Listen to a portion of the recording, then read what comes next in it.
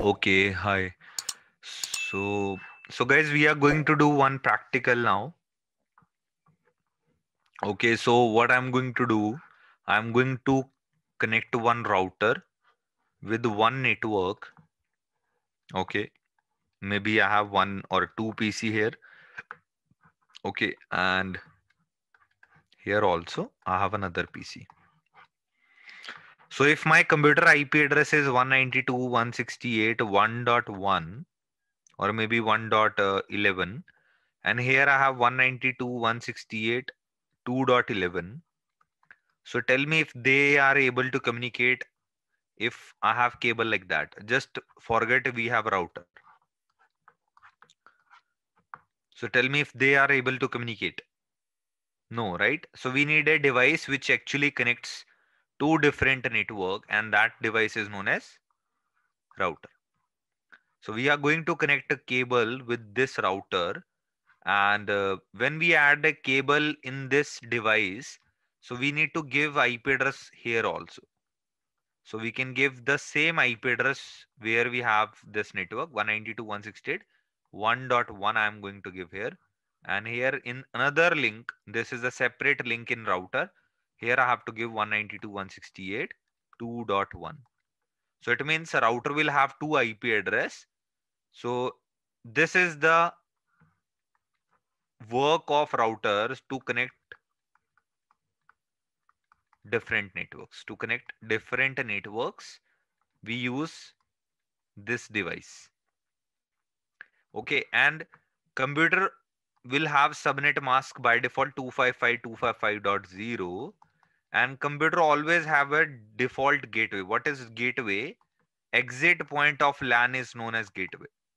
So i'm going to assign 1.1 so that is my router ip because if computer wants to go outside the network they are going to use this is gateway for that lan network. Means when you this is your home or something right? So suppose and you want to go outside so you always use the gate right? So that you can exit and you can enter from this gate. So it's like that. So router ip address is like working as a gateway for you.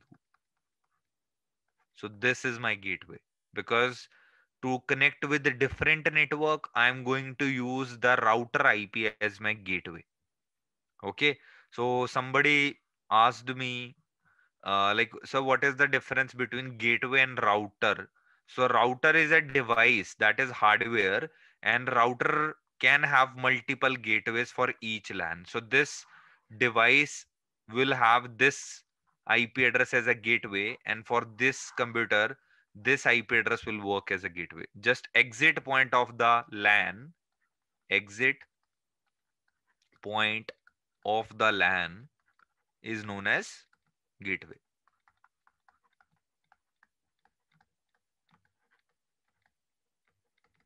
Okay. So let's go and create a lab.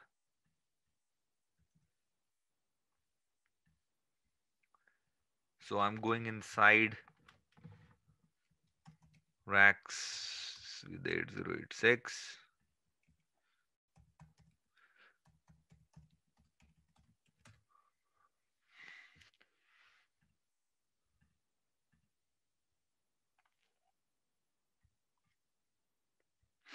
Hmm. So I'm going to create a lab.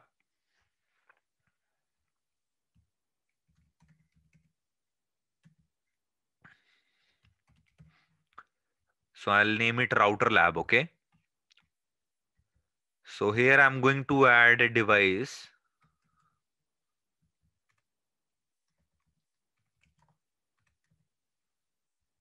Let's take this device. So this will work as, so I have router.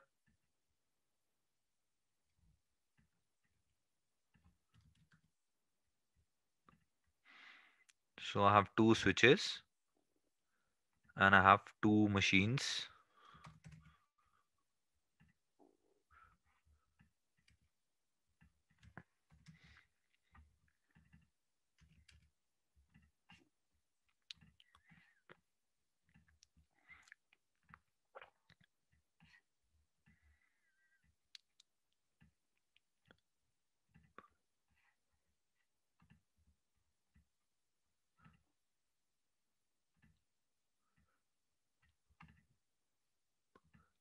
So the same lab you can do in your lab access.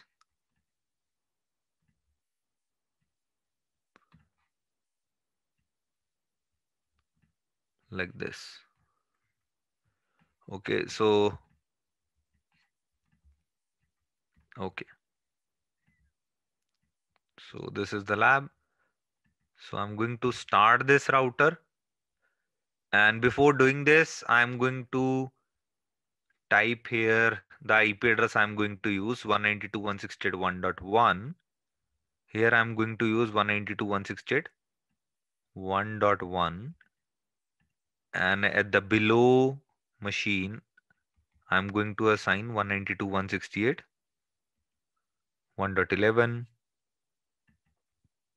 on the another side of router I'm going to use 192.168.2.1 and here I'm going to have another IP that is 192.168.2.2 okay so from more action start all devices. Okay so my all devices are up. Okay so I'll open this router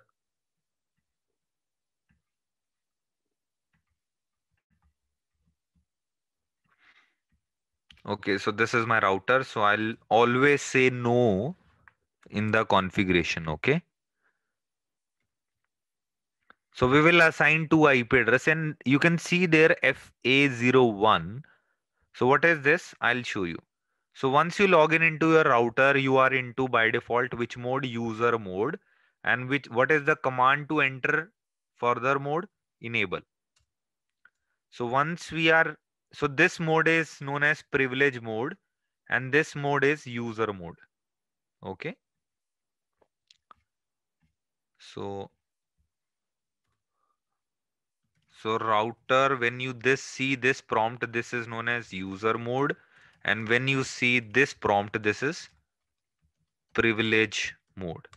And when you see a bracket on top of this router, so this we call global configuration mode.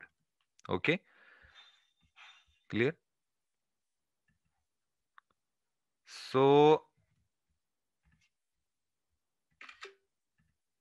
I'm going to create a lab here so that you can do this.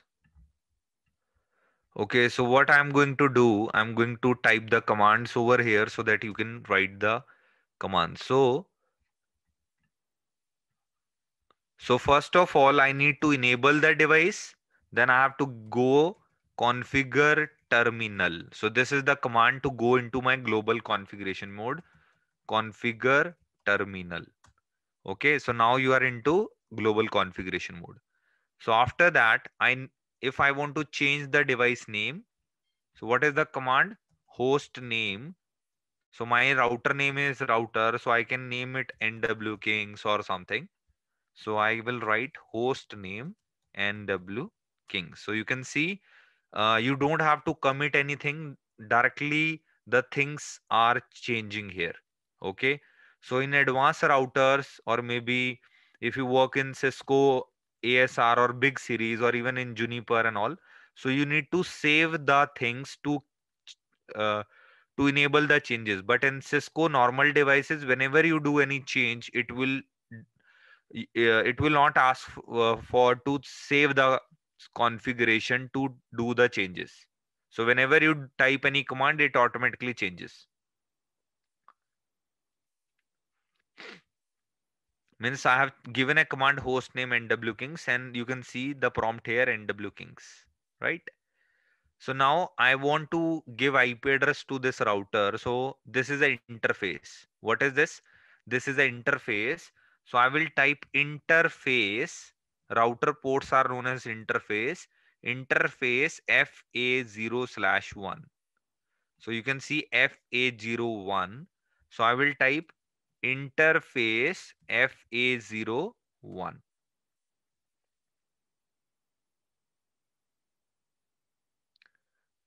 Harshika, that's in Cisco. It actually it's like that only.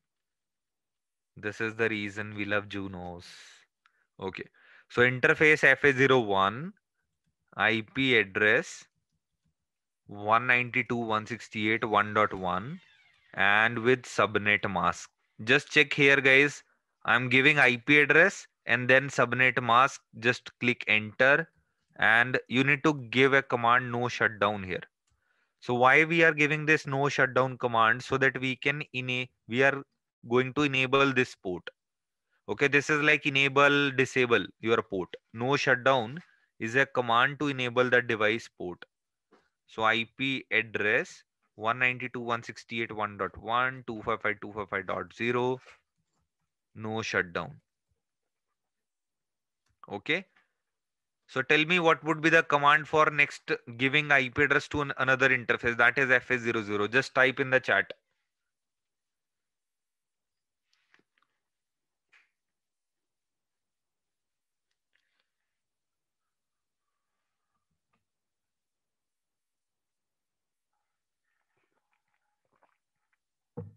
Hmm. Yes, correct.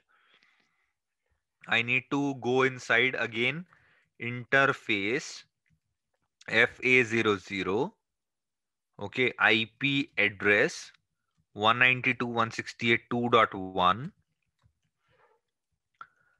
3 times 255 and again no shutdown right so the same way you are going to give the command interface FA00 and I'm going to type 192.168.2.1 and click on no shutdown and your IP. So you can see some messages here. You can see here change state to up. So it means the interfaces are up now. And how to check my interfaces are up or not? You need to go back into privilege mode. So how to go back directly to privilege level? You can just type end end or you can give exit two times i'm giving end so directly i'm into privilege mode so now i'm going to type show ip interface brief this is the command to check if i have given the correct ip addresses or not so tell me if i have given the correct ip addresses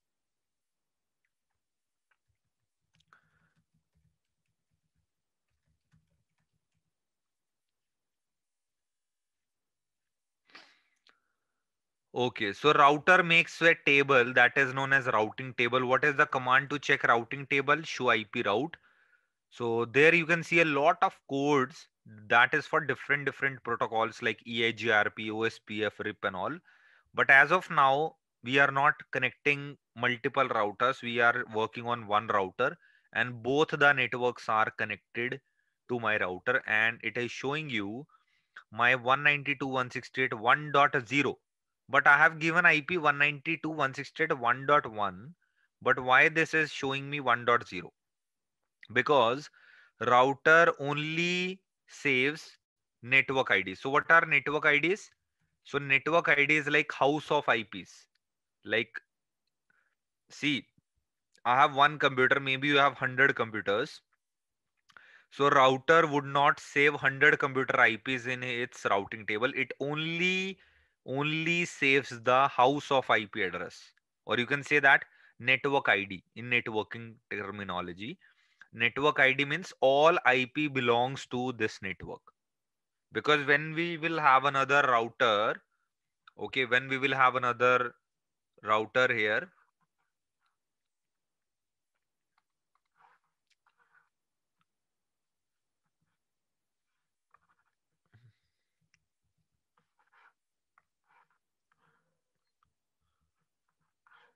Yeah, so the, when router is going to connect with another device further, so router is going to share not 100 computers IP address. Instead of sharing, it is going to share only this network to this router and router will have 192.168.1.0.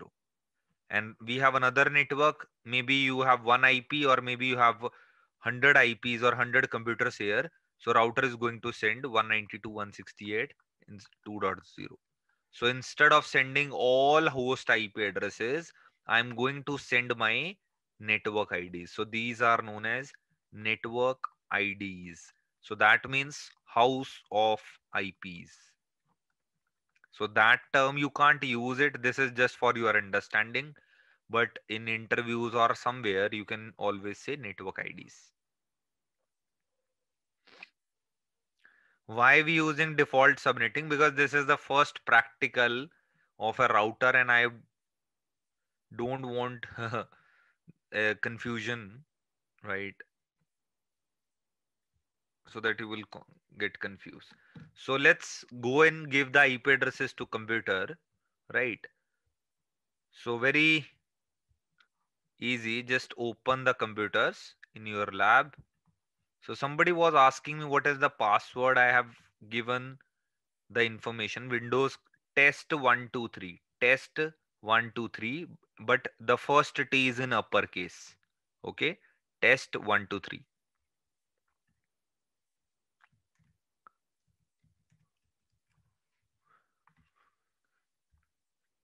So in my first computer, I need to go under ncpa.cpl and here I need to give in properties what would be the IP address 192.168.1.11 and my subnet mask is 255.255.255.0 and gateway would be router IP 192.168.1.1.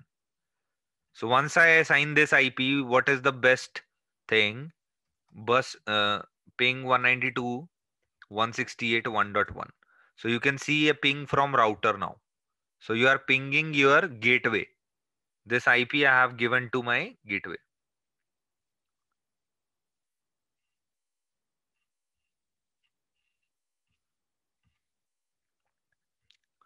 So in another PC,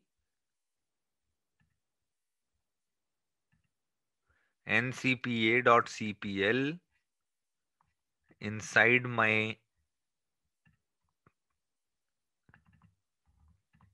so what would be the IP 192.168.2.11 right? So IP address would be 192.168.2.1 so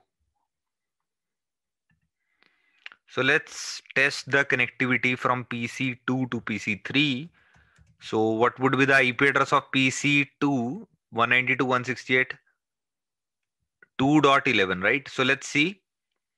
So here we go. You can see we have connected two different networks, guys. How much IP we can assign to router? It's better to always have IPs when you have multiple interfaces. So it depends on the router model. So we have very big routers where we can get around 100 plus ports also. So it depends actually. The practical is successfully completed. We are able to communicate from PC2 to PC3. So again, I have shown you that I am pinging to 2.11. So, but my computer IP is 192.168.1.11 and you can ping 2.11. Yes, I'm able to ping this. Okay.